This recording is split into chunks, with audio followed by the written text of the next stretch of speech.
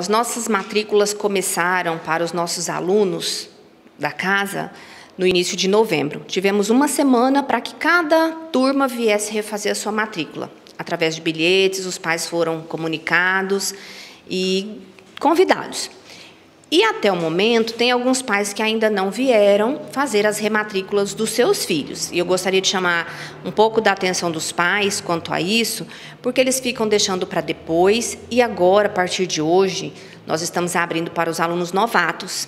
Então, é, os pais de outra escola que chegam com declarações de 2007 já concluído, eles poderão fazer a matrícula sim tendo os documentos corretos em mãos, né, a certidão de nascimento, CPF da criança, cartão do SUS e Bolsa Família e a xerox do CPF do responsável, né?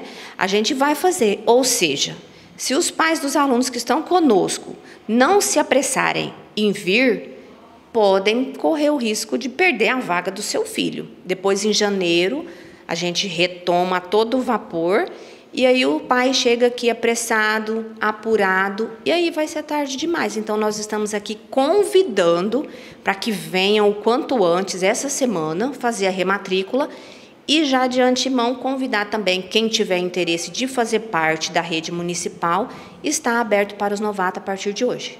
Até quando vai esse prazo de matrícula e rematrícula? Essa semana nós vamos estar aqui até sexta-feira. Aí vai ter o recesso do Natal e do Ano Novo e a partir do dia 4 a gente retoma as matrículas novamente.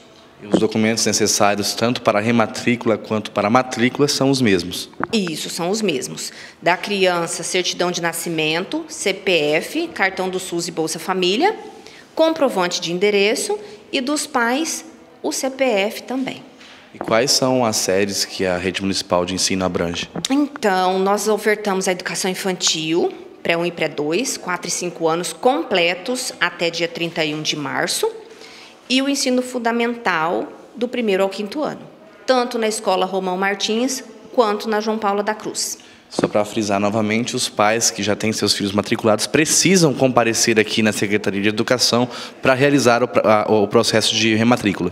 Precisam eles não podem ficar acomodados tendo como garantia a vaga do seu filho porque já estuda, porque nesse momento eles já tiveram a oportunidade de vir, né?